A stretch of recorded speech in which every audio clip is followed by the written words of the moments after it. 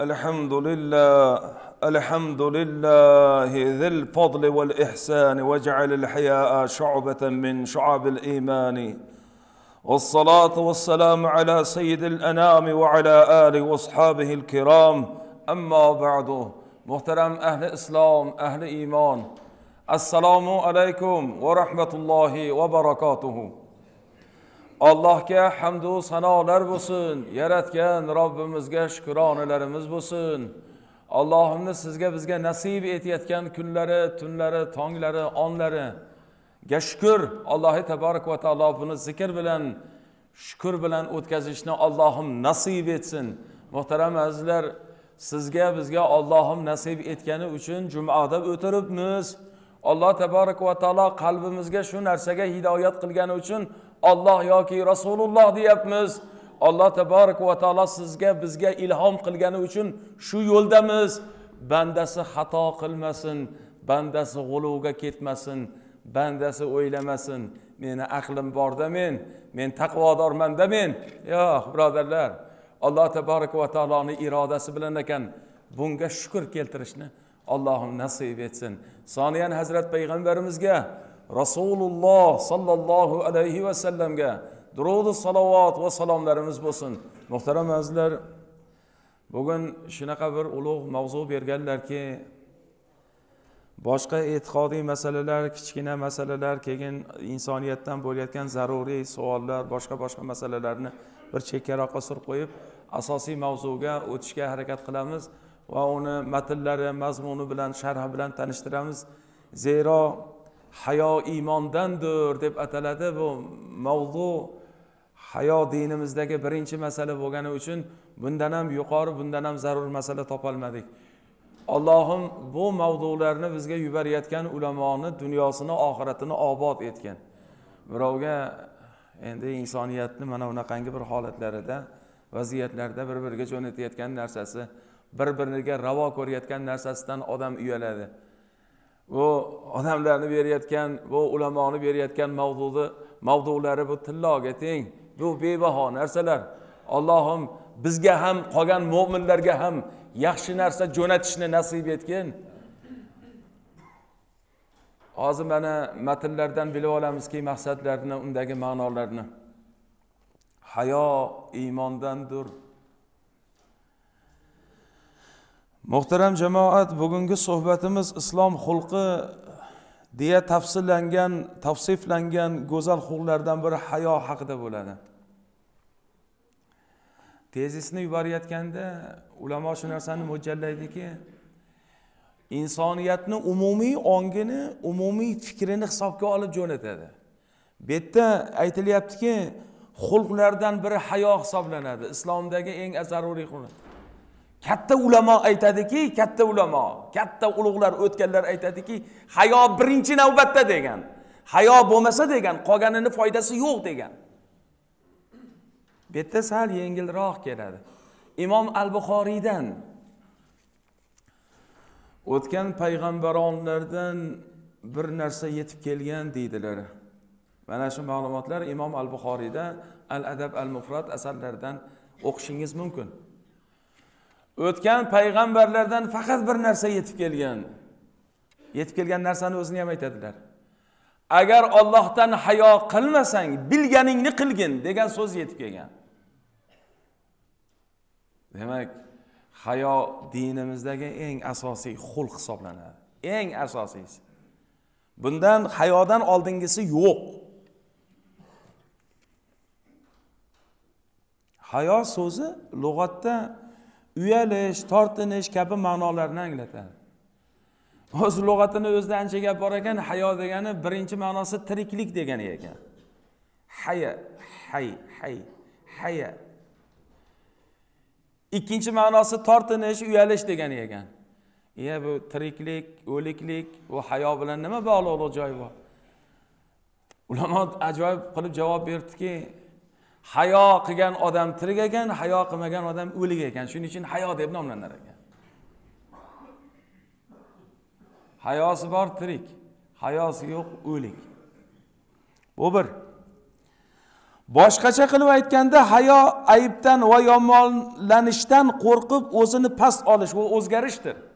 Ana bu istilohdagi qo'llanishdagi ma'nosi.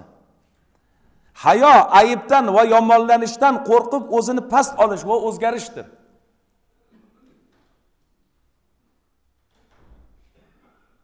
Insoniyatga ham yomon ko'rinib qolmay insoniyat mani yomon ko'rmasin deyish ham hayo. Shu xalqdan ham uyalish ham odamlardan uyalish ham hayo. Shunga qarab odam o'zgaradi. Shuni qilmaydi shuni. Shu hayo shu. Keyingisi alloma jurjoniy rahmatullohi alayhi hayoni quyidagicha ta'riflaganlar. Va inqibodu nafsi min shayin va tarkuhu hadaran anil lawmi fihi.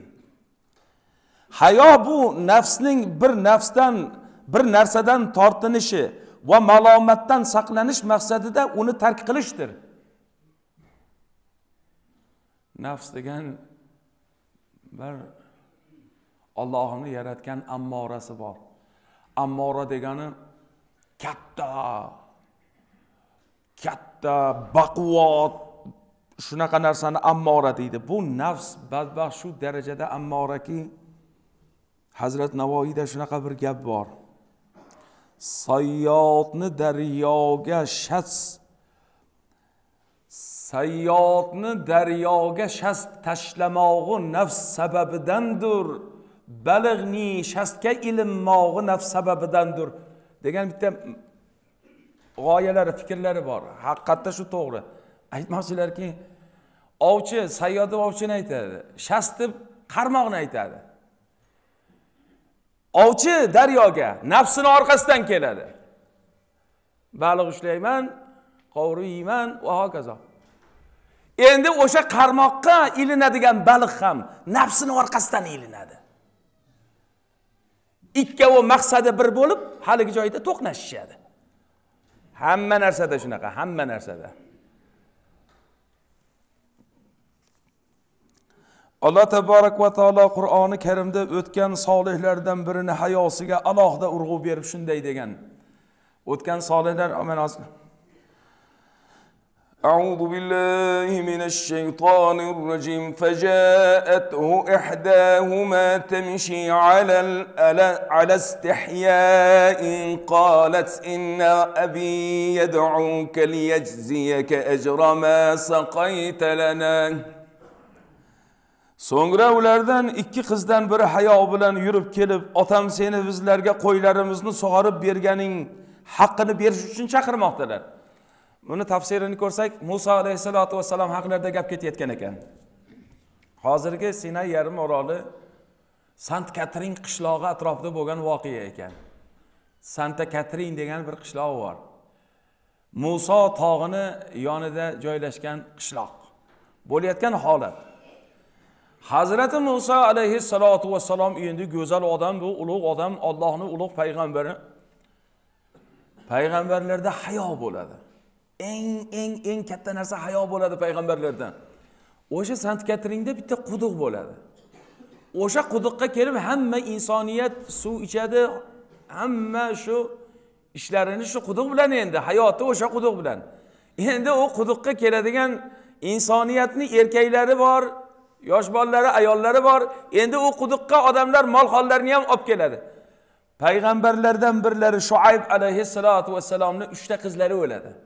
Xuddi o'sha sant katrin qishlog'idan bir o'n kilometr narida yasharkanlar u kishini joylari ham bor endi hozirgi kunda tarixiy bir joyga aylantirgan endi holatga aylantirgan. Xullas shuayb alayhissalotu vassalom yoshlari katta bo'lib qolgan uchta qizlari bor u kishini o'g'illari yo'q. Qizlari qo'y boqadi. Kim boqadi? Otadan shu uchta qiz bo'lgandan keyin uchta uchta qiz boqadida endi. Shu uchta qizlardan bittasi boqadida endi shuni o'g'il bo'lmagandan keyin. Haligi qizlar ham quduqqa qo'ylarni haydab olib keladi qizlardan bittasi. Buni hazrati muso alayhissalotu vassalom kuzatib turibdilar. Odamlar erkaklar baquvvatlar hammasi kelib quduqni tepasiga turib olgan ichgan. Zaiflarga navbati yo'q. Qarang o'zbekcha ishlar o'sha paytda ham. Zaiflar ikkinchi darajada. Ayol kishilaru to'rtinchi. Qo'ylarku umuman spiskada ham yo'q. Buni muso alayhissalotu vassalom kuzatib turadilar. Hazrati muso alayhissalotu vassalom haligi befarq insonlarga haligi birovga navbat bermayotgan insonlarga to'g'ri kelib hammasini chetga surib u baquvvat odam birovga hech narsa deyolmaydi. Haligi qizni sug'ar o'zlari suv ichadi qizga suv ichiradilar. Qo'ylarni ham sug'artiradilar. Qayerda yashaysan qiz? Man palon joyda yashayman. Yur deb haligini qo'ylari bilan o'zini olib hammasini uyiga olib borib qo'yadilar. U voqeadan keyin shuayb alayhissalotu vassalomni ko'zlari ojiz ekan. Qiz dedi otajon siz kutgan odamga o'xshaydi dedi. Ma'nosi biz uchta qizmiz. Otasini shu ollohdan so'rovini qizlar payqab yurar ekan. Menga ham ollohim bir solih banda uchratgin deb yurar ekan. Shu ayb payg'ambar. Otajon siz kutgan odam shekilli. Qayerdan bilding dedilar. Otalari qizlariga. Otajon u odam meni orqam men u odamni orqasidan keldim. Orqasidan kelayotganimda endi uyini ko'rsatib ketyaptiyu orqasidan kelyapti qiz. Hazrati muso oldida ketyaptilar. Qani uyini ko'rsatdi? Oldiga tushirmadilar qizni hazrati muso alayhissalotu vassalom ko'rmayin o'shani tomosha qilmayin deb orqamda yur ko'rsatib yurasan o'ngga deysan o'ngga yuraman chapga deysan chapga yuraman mana shundan bildim. Ana shu ayb alayhissalotu vassalom hazrati musoni kuyov qilgan ekanlar.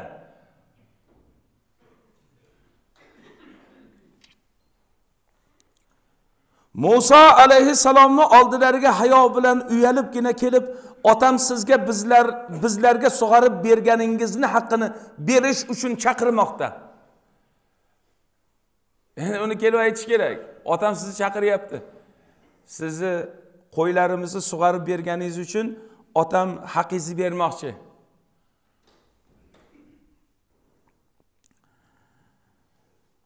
Degan bu qiz shoib alayhissalomning hayo asosida tarbiya topgan qizlari edilar. Ana o'sha paytda ko'ngli bo'lsa ham ayollarni qizlarni shu darajada shu ma'noda uyalgan ekan. To'g'ri kirib kelyapti domlani oldiga hozir.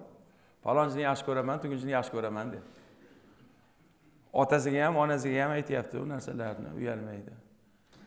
Bu ba'zi millatlar yoki ba'zi kinolarda ko'rayotgan holatini qaytaryapti. Aslida dinimizda ota bobomiz buni aytishdan hayo qilgan man palonchini yaxshi ko'raman tugunchini yaxshi ko'raman deganini mollar qo'ylarni kuykanga o'xshagandagi bir chaqiriq baqirig'iga o'xshatgan. Buni gapirib bo'lmagan bu narsalarni. Ana bahorda mushuklar kuykadi cherdaklarda miyovlashib qichqirishib. Va birodarlar insonku insonku! Shu narsani hisobga olish kerak bu ma'nolarni. Abu hurayra roziyallohu anhudan rivoyat qilingan hadisi sharifda payg'ambarimiz sollallohu alayhi vasallam bid'un va sab'una shu'batan فأفضلها قول لا إله إلا الله وأدناها إماطة الأذى عن الطريق والحياء شعبة من الإيمان رواه إمام مسلم iymon yetmishdan ortiq bo'lakdan iboratdir hazrati payg'ambarimiz rasululloh sollallohu alayhi vasallam ulug' bir vasfni keltiradilar. Iymon yetmishdan oshiq shoxlari bor daraxtga o'xshatadilar. Tasavvur qiling bir buyuk bir azim katta daraxt yetmishdan oshiq katta katta shoxlardan iborat bo'lgan katta bir daraxt. Uning eng afzali la ilaha illalloh. Endi boshqa bir matnda aytilganki o'sha daraxtning asosi la ilaha illalloh deyilgan. Qolgan yetmish nechta shoxi o'sha daraxtdan o'sha asosdan chiqib keladi. Eng kichkinasi o'sha daraxtning eng kichkina shoxchasi yo'ldagi ozor beradigan narsani olib tashlashlikdir. Eng o'sha iymon daraxtini asosi la ilaha illalloh bo'lsa eng yo'g'oni hayo ekan eng kattasi hayo ekan. Lekin eng kichigi yo'lda ozor berayotgan narsani olib tashlash ekan. Ana endi savolga bitta savol kelib qolgan. Shu savolni to'g'ridan to'g'ri o'qiymiz.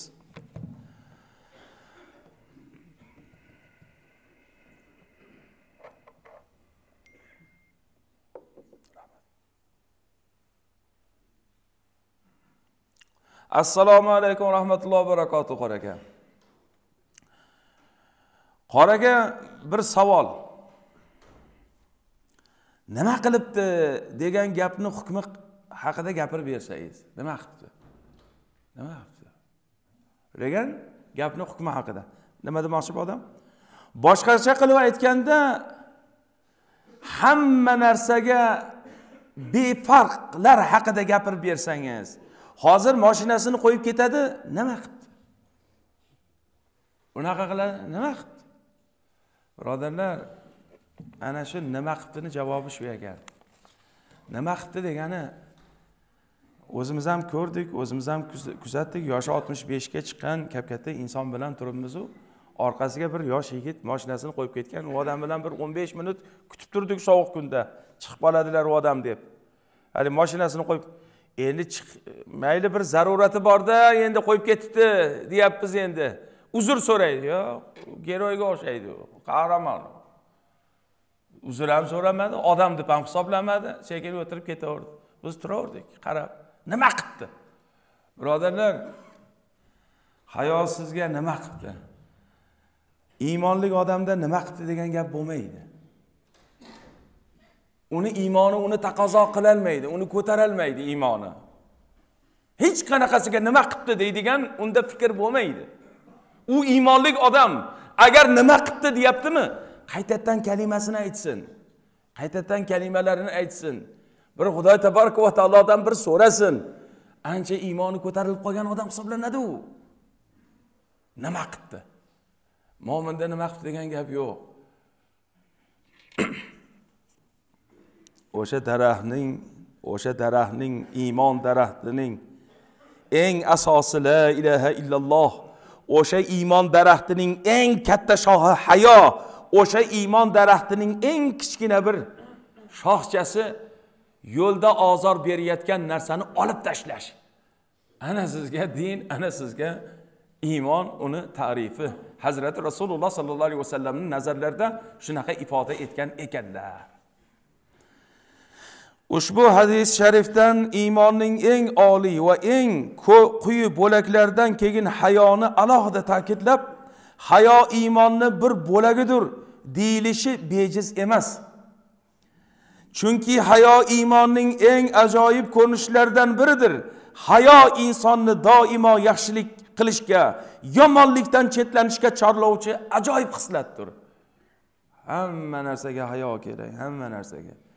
U bo'lmasa bo'lmaydiku umuman bo'lmaydiku hayot bo'lmaydiku hayo bo'lmasa bo'lmaydiku ibn umar roziyallohu anhudan rivoyat qilingan boshqa bir hadisi sharifda shundoq deyiladi innal hayaa val imana qurina jami'an fa idza rufa'a ahaduhuma rufa'a al-akhar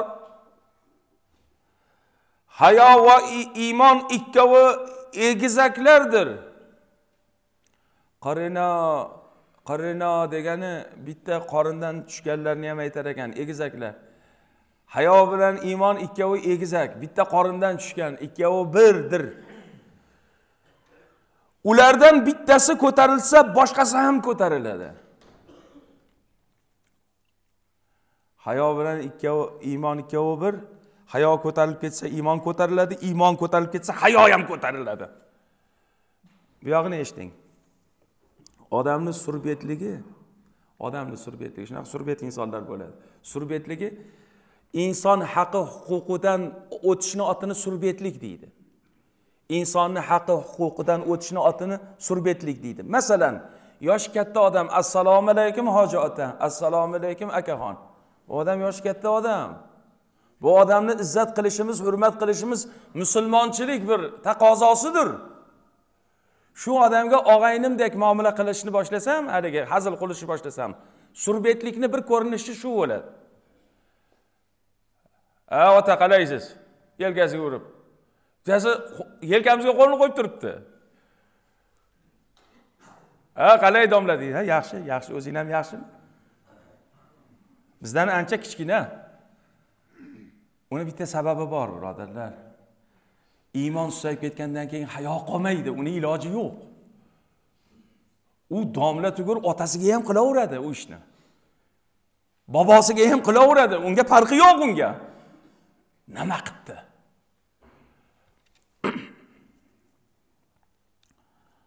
ulamolarimiz hayoni to'rt xilga bo'lishgan. Ularni har biri maqtalgan xislat. Hayoni to'rtta qismga bo'lgan to'rttavi ham maqtalgan. Birinchisi olloh taboraka va taolodan hayo qilish eng asosiysi eng muhimi eng kattasi eng zaruri. Alloh taolodan hayo qilish deganda banda alloh taoloni qaytargan ishlarini qilishdan buyurganlarini bajarishda sustkashlikka yo'l qo'yishdan hayo qilish tushuniladi. Olloh qaytarganini qilmaslik hayo. uni farmonini bajarishda sustkashlik qilmaslik bu hayo zero alloh taboraka va taolo har bir bandani jon tomiridan ko'ra yaqinroqdir uning barcha xatti harakatidan boxabardir bu haqida o'zining kalomida shundoq marhamat etadi أعوذ بالله من الشيطان الرجيم ولقد خلقنا الإنسان ونعلم ما توسوس به نفسه ونحن أقرب ونحن أقرب إليه من حبل الوريد insonni biz yaratganmiz uning nafsi vasvasa qiladigan ko'nglidan o'tadigan narsalarni ham bilurmiz insonni biz yaratganmiz uning nafsi vasvasa qiladigan narsalarni ham bilarmiz. Biz unga bo'yin tomiridan ham yaqinroqmiz. Hablin varid mana shu ikkita arteriyani otini habl der ekan. Hablil varid va shuni aytar ekan. Ey inson men seni jon tomirlaringdan yaqinman.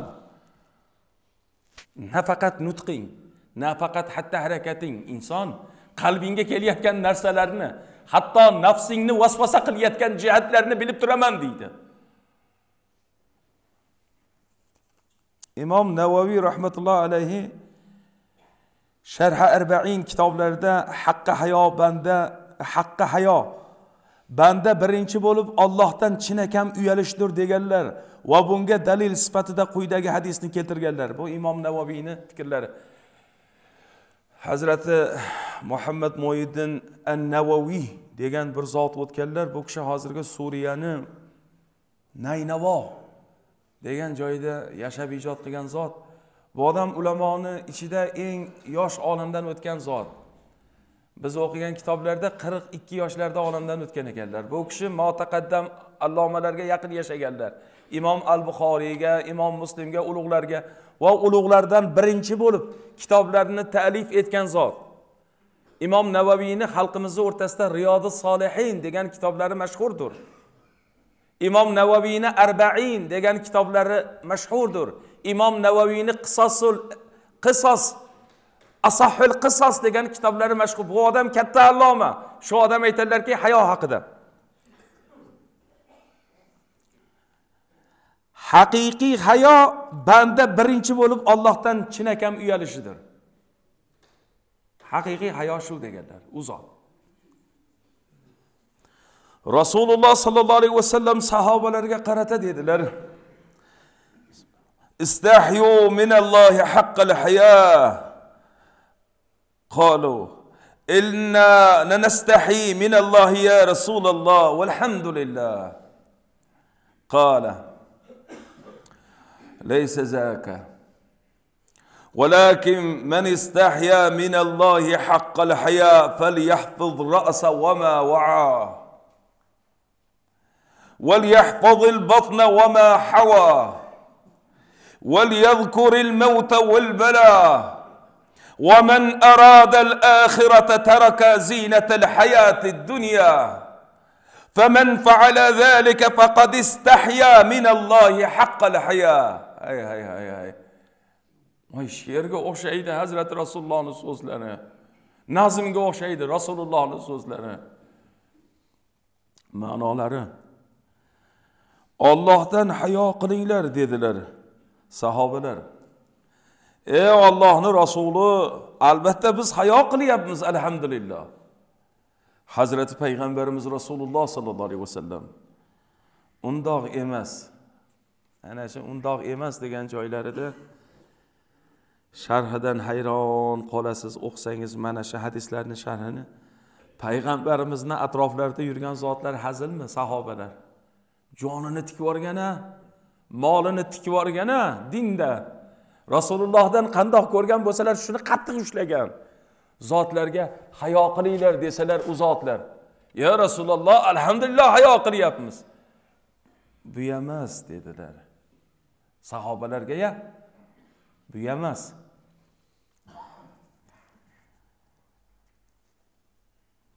ollohdan haqiqiy hayo qilish sharhladilar. Payg'ambarimiz rasululloh sollallohu alayhi vasallam bundoq emas. Ollohdan haqiqiy hayo qilish boshini va o'z ichiga olgan narsalarni qornini va o'z ichiga olgan narsalarni saqlamoqligingizdir. Boshini boshini o'z ichiga olgan narsalarni quloqni yomon gaplarni eshitishdan og'izni yomon gaplarni deyishdan ko'zni yomon narsaga qarashdan saqlamog'i. Qorin. Tiqib ola qolay shuni yeb ola qolay mana buni urib keta qolay. Sekin olib qo'ya qolay. Uni atamalari rosa ko'p. Haqiqiy hayo o'sha.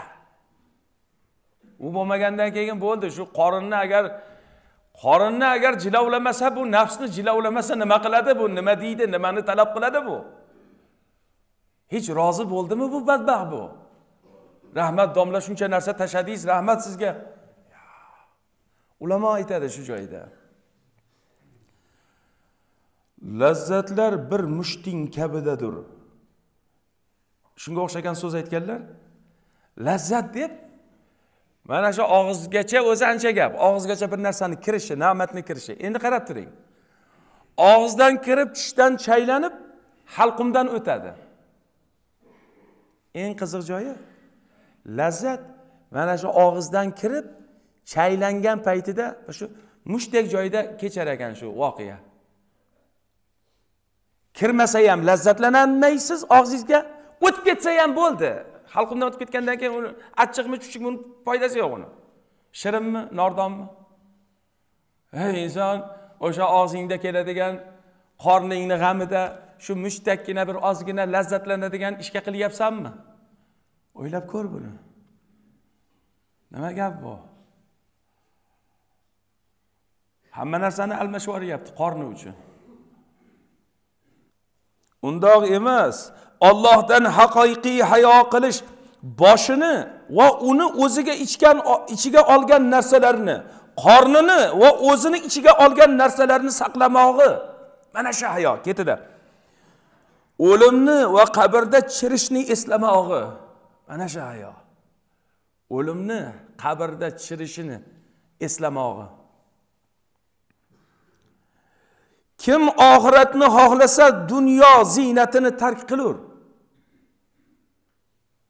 Haqiqiy oxiratni o'ylagan odam dunyoni ziynatlarini tark qiladi yoki berilmaydi. Bu degani birodarlar tark qiladi degani dunyoda muayyan alloh taborak va taolo insoniyatga bergan shuni taqozo etgan hayotini hamma yashaydi. Uylanadi o'g'il qizlik bo'ladi ta'lim tarbiyasini beradi uzatadi uylantiradi qo'ldan kelgancha uni odobi axloqini beradi. Mana shu mana shu birodarlar. Lekin uni kuchaytirmaydi. Unga berilmaydi. Uni orqasidan oxiratini unga alishmaydi. Kim ko'rdi o'g'il qizidan? O'g'il qiziga boylik qoldirsa uni yuqqanini kim ko'rgan? To'g'ri bir ma'noda kapitali bo'lishi mumkin otasidan qolgan onasidan qolgan narsalar. Lekin u narsalar unga buyurmaydi chunki uni u topmagan. Hazrat payg'ambarimiz rasululloh sollallohu alayhi vasallam marhamat etadilar. Ota ona bolasini odobdan ham ko'ra yaxshi narsa bilan siylay olmaydi qoldira olmaydi. Moshin qolyapti uchastka qolyapti seyfdagi narsalar qolib ketyapti. Anavi berkitilgan narsalar ham qolib ketyapti. Shuni hammasini bolalarga beraman. Gap yo'q o'zi bermasang ham olib oladi ular bu birinchi. Ikkinchisidan u qolib ketayotgan narsani bolaga foydasi bormi? Aka foydasi ham bor deb uchinchisi u bola u qoldirgan narsangni qadr qiladimi?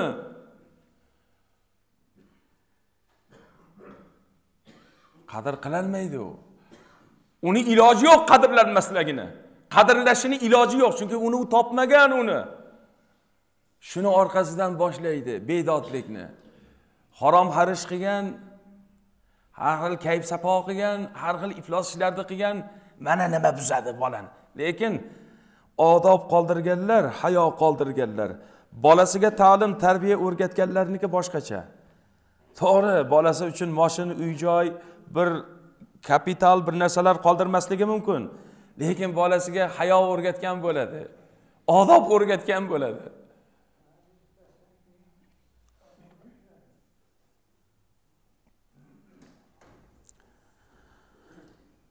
Bosh o'z ichiga olgan narsalar ko'z quloq burun og'iz va til ekanini bilib qo'ymoq lozim.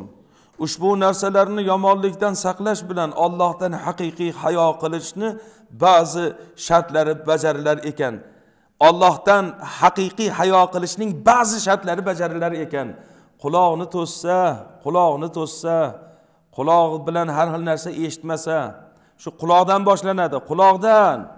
Ne'matlar quloqdan aytgan alloh taborak va taolo inson qismini yaratishda quloqdan boshlagan kalomida. Birodarlar bir narsadan hayo qilish uchun o'sha narsani eshitmaslik kerak. Bir narsadan hayo qilish uchun uni aytmaslik kerak.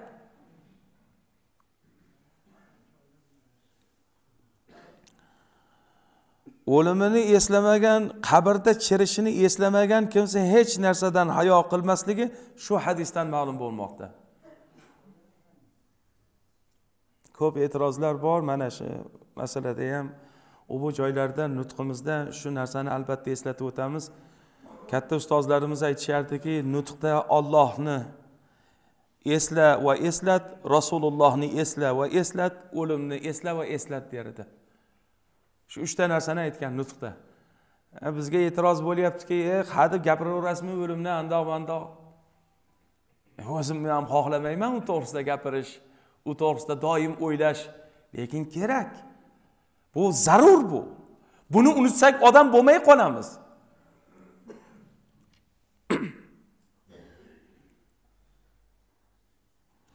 Alloh taborak va taolodan hayo qilish kishi jamoat joylarida ham yolg'iz qolganda ham o'zini bir xil tutadi.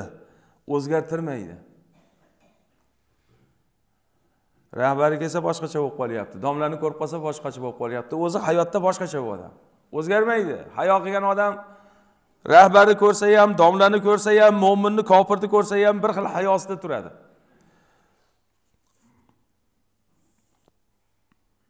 Hazrati umar oldin roziyallohu anhu ayollari ahliyalari zavjalari abdulloh ibn umarni voyaga yetib qolganlari ularni uylantirish keraklik ekanligini ko'p ta'kidlar ekanlar. Masalan ey ertalabdan kechgacha ko'chada yurasiz o'g'lingiz yoshi katta bo'lib qoldi bunga qiz axtarish kerak mana shunaqa ahvolmish ho'p ho'p hazrati umar oldin roziyallohu anhu shuni dardida shuni maqsadida niyatida o'ylab ketayotsalar oldilarida bir yoshi kap katta xotin qo'lida idish sut va yoshi voyaga yetgan bir qizcha qo'lida idish sut ikkovini suhbatini tinglab qoldilar. Orqasida ketyaptilar. Katta ayol yosh kap katta ayol haligi qizchaga. Voy bolam suting namuncha kam. Ha onaxoni endi sigirimizni berganida. Eshitib ketyaptilar u gapni haligi xotin. A buni ko'paytirmaysanmi? Iya qanaqa ko'paytiraman buni? Qarang. Suv qo'shmaysanmi qarang o'sha paytda ham bor bu ishlar. Shunaqa bir insoniyat bor o'sha paytda ham. Haligi qizni javobi. Eshitib ketyaptilar hazrati umar buni. Xalifamiz bilib qoladilarku. Xalifamiz bundan qaytarganlarku. Haligi xotin. Xalifang bilib o'tiribdimi? Hayo yo'qda u. O'zi orqasida ketyapti xalifa. Shuni ko'rib qolsa shu gapni gapirmaydi. Haligi qiz javob berdi. Xalifam ko'rmasa xalifamni robbis ko'radiku dedi. Xalifam ko'rmasa xalifamni robbis ko'radiku dedi. Mana shu gap hazrati umarga qattiq ta'sir etdi. Uylariga keldilar haligi qizni toptirtirib kelin qildilar. O birodarlar dunyoga adolatni tarqatgan zotlar o'shandan dunyoga keldi. O'shalar tug'di dunyoga yaxshilarni. Hayosi bo'lgan hayosizdan yaxshilar kelmay qoladi. Hayosizdan yaxshilar vujudga kelmaydi. Uni iloji yo'q.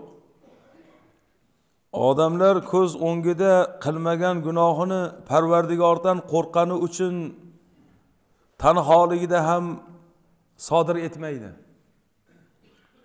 O'zi qolganda ham u ishni qilmaydi. Odamlarni oldidaku qilmaydi.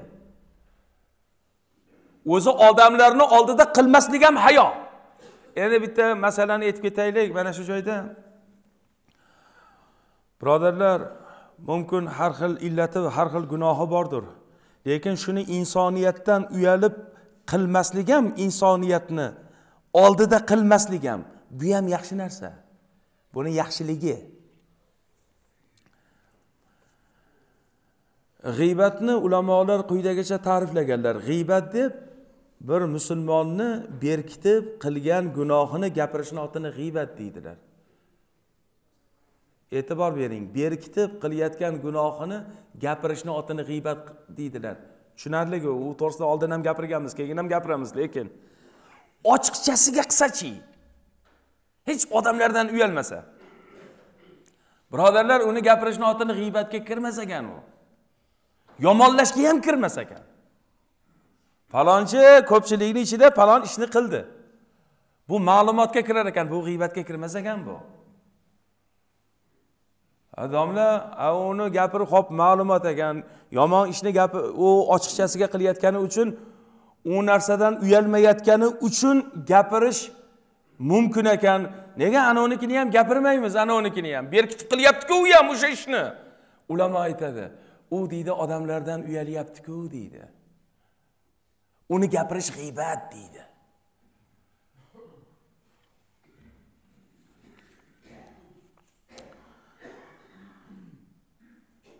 Rasululloh sollallohu alayhi vasallam hadisi shariflarini birida ummatimdan shunday kishilarni bilamanki ular qiyomat kuni tuhoma tog'icha keladigan oppoq xayrlik amallarni olib keladilar. Olloh ularni yaxshiliklarini to'zg'igan g'uborga aylantirib yuboradi. Shunaqa bir tog' bor. O'sha tog'ni otini aytyaptilar. Tuhoma endi katta tog' qiyomatda alloh taborak va taoloni huzurida o'sha savol javob mahshar kunida katta katta tog'dak tog'dak savoblar kelar ekan. Alloh taborak va taolo ko'zini oldida hamma insoniyatni ichida haligi tog'dek savobni g'uborlarga aylantirib yuborar ekan changlarga aylantirib yuborar ekan. Sahobalardan savbon roziyallohu anhu ya rasululloh ularni bizga ochiq oydin sifatlab bering toki biz ham o'zimiz bilmagan holda ulardek bo'lib qolmaylik u zot dedilar. Ular sizni birodarlaringiz va sizga o'xshagan sizning o'xshashlaringizdirlar. Xuddi sizlar tunlari tahajjud namozini ado etib nasibalaringizni nasablaringiz kabi ular ham ibodatdan nasibalarini oladilar. Nasibalar nasibalanganingiz kabi ular ham ibodatdan nasiba oladilar. Bitta sharhida borki insoniyatni ibodatdan lazzatlanishi bor. Buni tan olish kerak. Masalan qur'on o'qiyotganda odam lazzatlanadi. Har qanaqa inson. Yaxshi bir tajvid bilan chiroyli bir savut bilan o'qib bersa undan lazzatlanadi. Gap yo'q uni tan olish kerak. Ikkinchisi namozdan ham odam lazzat namozni bir chekkaga qo'yib turing tahoratdan odam lazzatlanadi. O'ylab ko'ring eslab ko'ring. Tahorat olganingizda bir kayfiyatingiz boshqacha bo'ladi. U qayerdan u? Ketida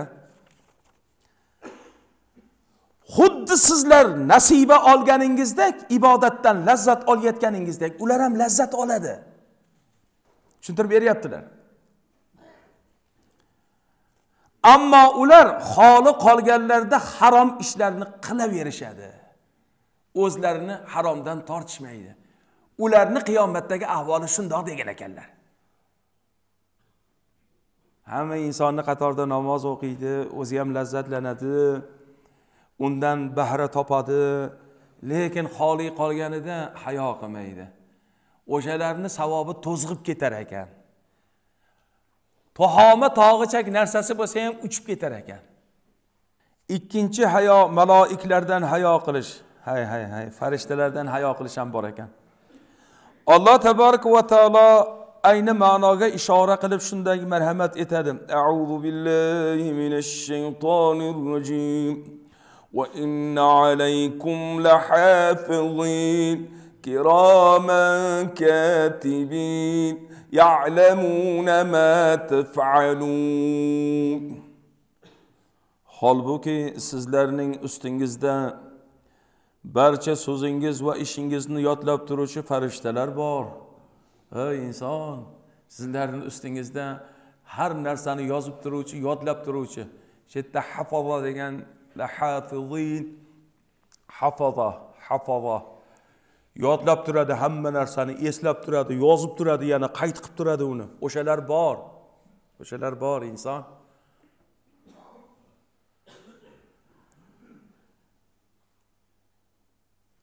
Ular nomai amolga yozuvchi ulug' zotlardir. Ular tuhmat qilib qo'ymaydi bizga. Sizga tuhmat qilmaydi qilmaganimizni yozmaydi. Demaganimizni yozmaydi. Borini yozadi. Qanaqa bo'lsa shunaqa bo'ladi.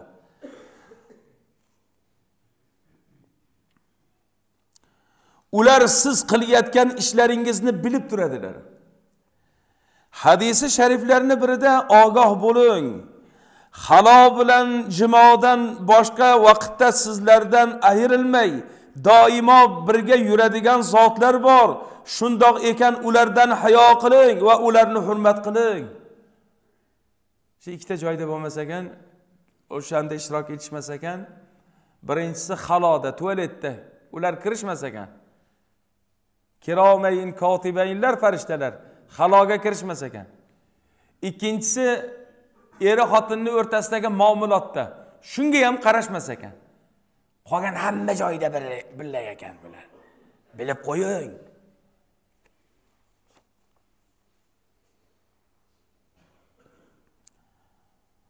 Ogoh bo'ling halo bilan jibodan boshqa vaqtda sizlardan ayrilmay doimo birga yuradigan zotlar bor. Shundoq ekan ulardan hayo qiling va ularni hurmat eting. Iya qanaqa hurmat qilamiz ularni? Bu hadisda nazarda tutilgan zotlar albatta Allohning sodiq qullari maloiklardir. Ulardan hayo qilish o'zimizni dini diyonat odobi axloqqa zid keladigan nomaqbul odat va ko'rinishlardan uzoq bo'lishimiz orqali bo'ladi. Uchinchisi odamlardan hayo qilish. Odamlardan hayo qilish o'zgalar huzurida ko'rsatilishi odatda uyatlik sanaladigan a'zolar avlat avrat joylarini berkitishdir. Hay hay hay hay. Odatda o'zgalar ko'risha ayb bo'ladigan joylarini yopish. Odatda shu odamlardan uyalish deganda birinchisi avratini yopish. Uni begona ko'zlardan yashirish bilan birga kishilarga tili qo'li bilan ozor berishni to'xtatib yomon so'zlar bilan insonlar dillarini ranjitmaslik tahqirlab ho'rlamaslik bilan ham ta'riflanadi.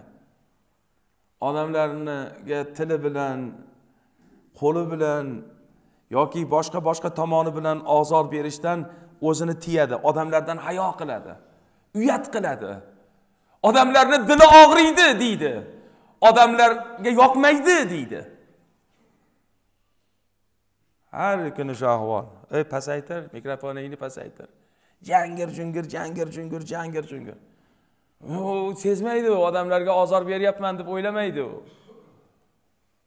odamlar bundan injiydi deb o'ylamaydi. Shuni o'ylashlik odamlardan hayo qilishlik ekan. Nima deb o'ylaydi odamlar? Oldingi jumalarda ham aytgan edik. Munkir munkir noodamiylik. Birodarlar noodamiylikni otalari onalari qilib beryaptiku bolalarga. Paq paqillatadigan olib beryaptiku. Paq etsa xursand bo'lyapti. Shundan lazzatlanyapti u paq aytganda odamga undan ozor yetyapti yoshi katta odamlarga. Homilador ayollarga. Hayo qilgan odam u ishni qilmaydi. Qo'y yoshi katta qo'shnim bor qariya odam. Shular yaxshi ish yaxshi ko'rmaydilarmi?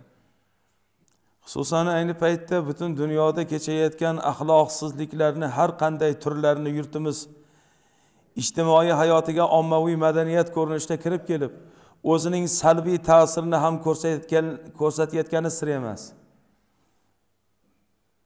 Har qayerda qarab tursangiz ommaviy madaniyat deb atayapti uni lekin u noinsoniylikka yovurilgan noodamiylikka yovurilgan yoki madaniyatsizlikka behayolikka yovurilgan bir bir shaytoniy bir dastur. O'shani o'shani inson umumiy madaniyat deb nomlayapti o'sha narsani. Endi uni bizni yurtimizga ham kirgizmoqchi. Ey birodarlar ko'zinglarni katta katta ochinglar butun insoniyat eshitib qo'ysin. Hech qachon tarixda hozir ham bundan keyin ham davlatlar davlatlarga do'st bo'lgan emas. Bu haqiqiy gap bu. Bu adolatli gap bu. Davlatlarni davlatlarda manfaati bo'lgan osiyo mintaqasini xususan o'zbekistonni agar aholisini aylan aynitib olsa o'sha o'ziga moyil qilib olsa o'ziga monand qilib olsa birodarlar boyliklarimizni talamoqchi bular. O'zimizni qul qilmoqchi. Buni qilgan buni qilgan ilgari ham qilgan buni. Mana shu temur orollarida bir ikki yuz yil oldin nasroniy go'yo nasroniy dini niqobi ostida missionerlar borgan ekan. O indoneziya tomonda. Ikki yuz yil oldin ikki yuz yil oldin bitta odamni diniga kirgizadi. Ular islom diniga e'tiqod qiladigan aholi bo'ladi o'zi islom diniga ham yaqinda kirgan. Ularga uzoq bo'lmagan dinga kirgan ekan dinimizni qabul qilgan ekan. Haligi xalqdan bittasini ikkitasini o'rtadan yuz ellik yil o'tgandan keyin davlatni ikkiga bo'ldiyu. Va birodarlar bitta xalqni bir mamlakatni bir davlatni aholisini u narsani egallab olish uchun birdan kirib kelmaydi. Madaniyatini tiqadi odatini tiqadi qilig'ini tiqadi o'shanga moyil qiladi o'shani yaxshi ko'rsatadi. Undan keyin bemalol kirib keladi. Nabiy alayhissalotu vassalom odamlardan qilinadigan hayoni yaxshi va yomon ishlar uchun mezon qilib berganlar va shundoq deganlar. Biror ishni odamlar ko'rishni yoqtirmasangiz xilvatda qolganingizda ham o'sha ishni qilmang dedilar. Qanaqa buni buni balansi qanaqa bo'ladi buni me'yori? Odamlarni ichida qilishni xohlamaysanmi odamlarga ko'rsatib qilishni? Holi qolganda ham qilmagin debdilar. Mana shu odamlardan hayo qilish bo'lar ekan. Hudayfa ibn yamoniy yamon roziyallohu anhu aytadilar odamlardan uyalmaydigan kishida xayr yo'q. Ibn masud roziyallohu anhu aytadilar odamlardan hayo qilmagan ollohdan ham hayo qilmaydi dedilar. Umar roziyallohu anhu aytadilar kimning hayosi oz bo'lsa parhezkorligi ham ozayadi. Kimning parhezkorligi oz bo'lsa qalbi ham o'ladi. Birodarlar hayoni ulug' sahobalar nihoyatda qattiq qattiq ta'rif qilyapti. Nihoyatda jiddiy jiddiy yondashyapti.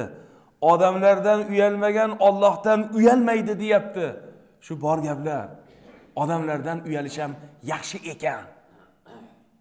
Bu ham kerak ekan. To'rtinchi hayo o'z nafsidan hayo qilish. O'z o'zidan hayo qilish ham yaxshi fazilat hisoblanib u hech kim ko'rmaydigan joyda ham o'zini noo'rin xatti harakatlarni tiyishini taqozo qiladi. O'zidan ham hayo qilar ekan. Hech kim ko'rmaydigan joyda ham nojo'ya xatti harakat qilmas ekan qiliqlarida ham. Suvni ovqatni bir narsani o'ng qo'lda yeydi. E, odamlar bor bori uchun o'ng qo'lda yeydida endi. Odamlar ko'rib qolsa chap qo'lda yeydi deb malomat qiladi. Makruh bo'ldi deb malomat qiladi. Lekin u odam o'zi xoli qolgan paytda ham o'ng qo'lda yeydi. Buni rasululloh sollallohu alayhi vasallam qilganlar deydi. Hech ham chap qo'lga qilmaydi bu ishni. Bitta oddiy bir misoli bu. Odam o'zini hayo qilish shundan ekan. Hakimlardan birlari. O'zidan o'zi uyalish boshqalardan uyalishdan ko'ra ko'proq bo'lmog'i lozim deganlar.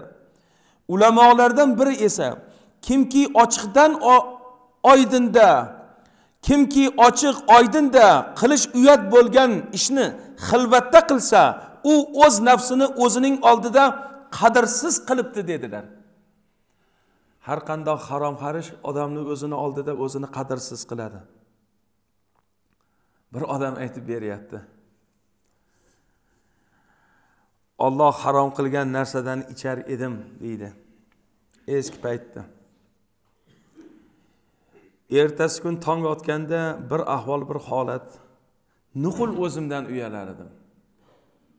Ahvolimni qara meni otam kim bo'lgan bobom kim bo'lgan men nima qilyapman? O'zi nima qilishim kerak edi? Mana shu narsa mana shu fikr meni majbur qildi. Ibodat tomonga o'tib ketishga deydi. Mana shu narsani siz kuchayib kuchayib kelib tashlab yuborgan ekan harom harishni yaxshi yo'lga yurib ketgan ekan. Odam o'zidan uyalmagandan keyin foydasi yo'q uni. Hazrati mavlono jomi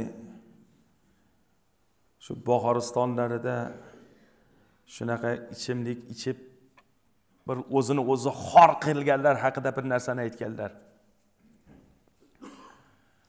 Odamni xorligini tushuntirib beryaptilar. Ular aroq harom u harom bu harom deb shuni ko'rsatib berishga harakat qiladi bu odamlar. Aytyaptilar. Bechora ichkilik boz bechora shunga berilgan ichgan mast bo'lgan dumalab yotib hamma yog'iga qayt qilgan mana shu ahvol uni bir it kelib yuzini yalayapti. Haligi odamni yotishini ahvolini. U rahmat birodar deb qo'yadi. Kim qilayotganini ham bilmaydi u. It kelib yalayapti. Uni ustiga yalab bo'lgandan keyin it oyog'ini ko'tarib peshob qilib yuboradi yuziga qarab. Alkashni yotganini voy baraka top tan joning sog' bo'lsin yuzimga issiq suvlar quyayotgan shu xorlikni qilasanmi birodar? O'zingdan o'zing uyalmaysanmi? Shu itni oldida ham xor bo'ldingmi? Odam o'zidan uyalishi ham iymonga olib kelib qo'yar ekan. Qaysi harom amalni qarasangiz hammasi insonni xor qilgan. Bittasi ham aziz qilmagan. Bittasini sanab bering. Ey qordomlar palon harom amal bor shu odam yaxshi bo'ladi. Yo'q birorta haromda insoniyat aziz bo'lmagan. Hammasida xor bo'lgan. Nomunosib bo'lgan. Naqal zino qilganini andoq qilganim haqiqatini aytyapti. O'sha harom amaldan keyin vijdonim ezilar edi deydi. O'sha harom amaldan keyin vijdonim ezilar edi deydi. O'shandan keyin tashladim deydi. Demak vijdoni ezilmayotgan bo'lsa noto'g'ri yo'llarda ketyapti. Xudoyim vijdonini ezilishini nasib qilgin o'zidan o'zini uyalishini nasib qilgin. Shu ham ulug' narsa ekan odam o'zidan uyalishi. Muhtaram jamoat ummatlar uchun har bir ishda namuna bo'lgan zot payg'ambarimiz sollallohu alayhi vasallam hayo bobida ham peshqadam edilar. Abu said al hudriy roziyallohu anhu u zotni shundoq sifatlaydilar. hazrat sahoba payg'ambarimiz rasululloh sollallohu alayhi vasallamni sifatlayaptilar كان رسول الله صلى الله عليه وسلم أشد حياء من عذراء في خدرها وكان إذا كره شيئا رؤي ذلك في وجهه رواه البخاري رسول الله صلى الله عليه وسلم hayolari chimildiqdagi kelingdan ham kuchlikroq edi rasululloh sollallohu alayhi vasallam nihoyatda uyatchan edilar. Uyatchanliklari chimildiqdagi o'sha bokira qizlarga o'xshab uyalar edilar. Bir narsani yoqtirmasalar yuzlaridan bilar edik. Birdan yuzlari muborak yuzlari o'zgarib ketar ekan. Bir narsani yoqtirmasalar qizarib ketar ekan. Bunaqa holatlar kuzatilgan ba'zi nahiy qilingan amallarda o'sha holatlarni keltirishgan sahobalar hujjat qilib dalil qilib keltirishgan hadisni. Bu hadisda ham rasululloh sollallohu alayhi vasallamning hayolarini ta'riflashda go'zal o'xshatish tanlangan. Ma'lumki ma'lumki hayoning eng yuqori cho'qqisi go'shangaga kirgan yangi kelinchakda kuzatiladi. Rasululloh sollallohu alayhi vasallam hayolari esa ushbu darajadan ham yuqori edi. O'sha qizlardan ham uyatchangroq edilar. Shuningdek u zot sahobalarni doimo hayotga targ'ib qilardilar. Shuningdek u zot sahobalarni doimo hayoga targ'ib qilar edilar hayosizlikning salbiy oqibatlaridan ogohlantirardilar jumladan hadis shariflarda hadisi shariflarni biridan birida shundoq dedilar ما كان الفحش في شيء إلا شانه وما كان الحياء في شيء إلا زانه nimada faxsh bo'lsa albatta unda uni sharmanda qiladi. Nimada faxsh bo'lsa albatta uni sharmanda qiladi. Nimada hayo bo'lsa albatta uni aziz qiladi. Birodarlar o'sha harom harish odamni sharmanda bo'lishiga albatta sabab ekan. Hayo uyalish albatta azliga sabab ekan. Hazrat payg'ambarimiz rasululloh sollallohu alayhi vasallam hatto azizlik va xorlikni bu bilan o'lchagan ekanlar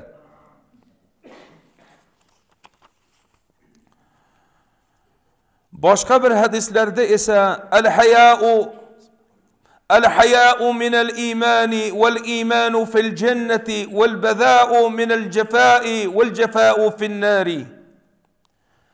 hayo iymondandir iymon jannatdadir hayosizlik jafodir jafo do'zaxdadir. Hayo iymondandir iymon jannatdadir. Behayolik jafodir jafo do'zaxdadir. Mana shu o'rinda xulosa qilishga to'g'ri keladi vaqt e'tibori bilan. Xulosa o'rinda shu narsalarni aytamizki allohim hayoni avvalo barchamizga nasib etsin. Bu bir. Ikkinchidan ollohdan rasulullohdan haloyiqdan farishtalardan o'zimizdan o'zimizni ollohim hayo qilishimizni nasib etsin. Va uchinchidan mo'min musulmonlar bu hayo eng jiddiy narsa ekan eng muhim narsa ekan. Ollohim barchamizga shuni farzandlarimizga elimiz xalqimizga butun olamda yashab turgan mo'minu mo'minatga allohim nasib etsin. Yana bu mavzuga yana qaytajakmiz inshaalloh.